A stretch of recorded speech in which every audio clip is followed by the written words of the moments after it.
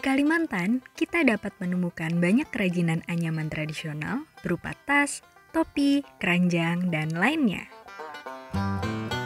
Kita akan mencoba membuat anyaman yang lebih sederhana berbentuk hiasan dinding.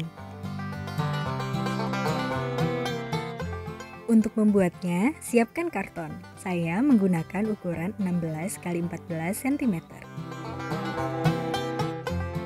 Penggaris, cutter, pensil, kertas dengan halaman kosong,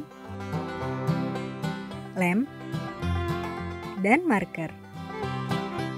Pertama, keluarkan karton dan pastikan ukuran panjang dan lebarnya sama-sama genap atau sama-sama ganjil. Kemudian, ambil kertas dan samakan ukurannya dengan ukuran karton. Kamu bisa langsung memotongnya menggunakan cutter atau ditandai terlebih dahulu menggunakan pensil.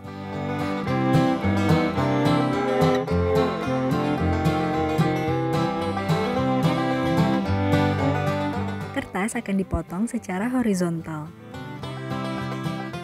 Karena saya menggunakan kertas berukuran genap, saya akan menandainya dengan memberi titik-titik dengan jarak masing-masing 2 cm. Jika kamu menggunakan ukuran ganjil, kamu bisa menandainya dengan jarak masing-masing 1 cm atau 3 cm. Sambungkan titik-titik di kedua sisi menggunakan penggaris dan potong kertas menggunakan cutter hingga potongan kertas terpisah menjadi beberapa lembaran seperti ini.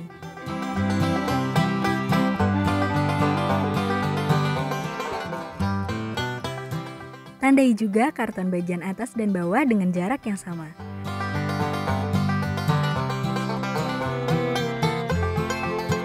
Sisakan 2 cm pada masing-masing sisinya. Dan potong karton secara horizontal seperti ini.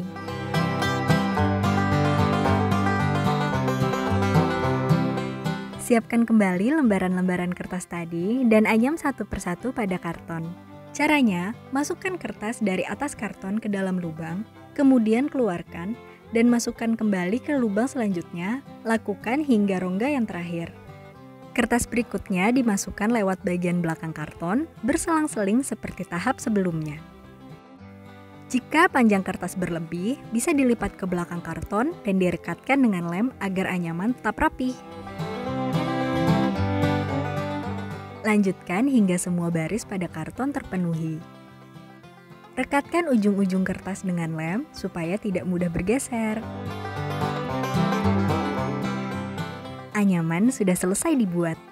Kita bisa menghiasnya dengan pola yang biasa terlihat pada kerajinan anyaman Kalimantan agar lebih menarik. Kamu bisa mengikuti contoh yang saya gambarkan di kertas kecil ini. Saya akan mengisi kotak-kotak dari anyaman ini dengan motif-motif tersebut.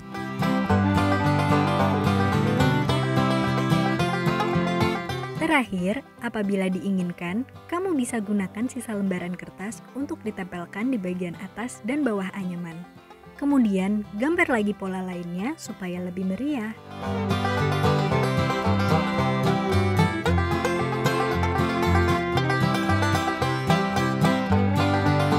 Selesai, selamat berkreasi. Ikuti terus keseruan Nusantara Art Festival dengan menonton rangkaian video kreatif dan dongeng seru di kanal YouTube Ganara Art. Sampai jumpa lagi.